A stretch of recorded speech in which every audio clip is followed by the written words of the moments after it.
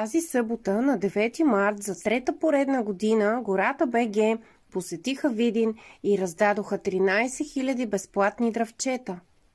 Желаещи да си вземат и посадят дърво не липсваха. Въпреки, че в началото опашката беше малка, се раздадоха всички дръвчета. Дори не стигнаха.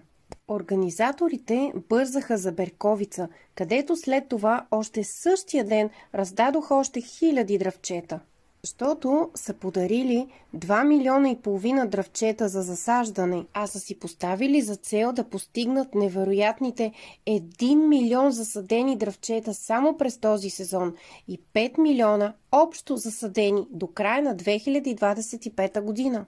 Пожелавам им успех в постигането на целите и много здраве. Очакваме ги до година по това време отново в нашия град и ще сме готови да засадим още десетки хиляди дръвчета. Подкрепа на целта им и в името на едно по-добро и зелено бъдеще. Нека заедно да засадим, да се грижим, да отгледаме и изградим своето бъдеще края на това видео можете да видите описание на подарените на мероприятието дървесни видове и инструкции за отглеждането им. Всички, които взеха дърво, пожелавам успех в засаждането и отглеждането му.